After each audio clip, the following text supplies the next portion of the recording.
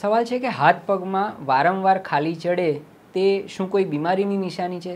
હવે હાથ પગમાં ખાલી ચડવાનું, ટેમ્પરરીલી ખાલી ચડવાનું સૌથી સામાન્યમાં સામાન્ય કારણ એ ડિહાઇડ્રેશન કે ઇલેક્ટ્રોલાઇટ્સની ઉણપ છે.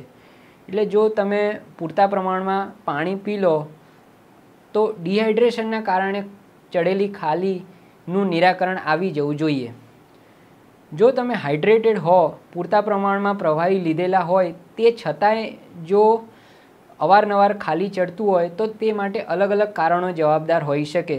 જેમાંના કેટલાક સામાન્ય કારણો છે શરીરમાં vitamins B six, B nine અને બી ટ્વેલ્વમાંથી કોઈ એકની ઉણપ હોવી કે પછી ડાયાબિટીસને કારણે નસોને નુકસાન થવું હાઇપોથાઇરોઇડ જેમાં થાઇરોઇડ ગ્રંથિ નિયત જરૂરિયાત કરતાં ઓછું કામ કરતી હોય, એવી પરિસ્થિતિમાં નસની આસપાસ પાણીનો ભરાવો થાય અને એ નસ પર દબાણ આવે, તો જે તે નસના એરિયામાં ખાલી ચડી શકે એ સિવાય ન્યુરોપથીસ જેમ કે કાંડામાં એક કાર્પલ ટનલ નામની એક એનાટોમિકલ રચના છે.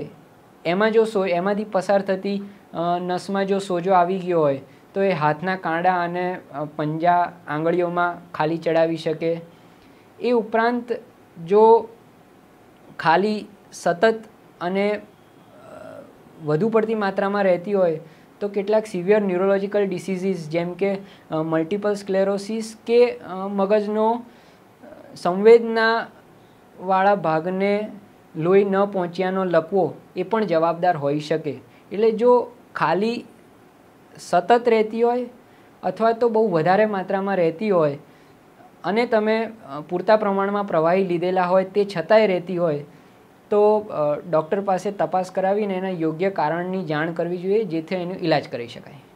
વૈષ્ણવજન તો તેને કહીએ જે પીડ પરા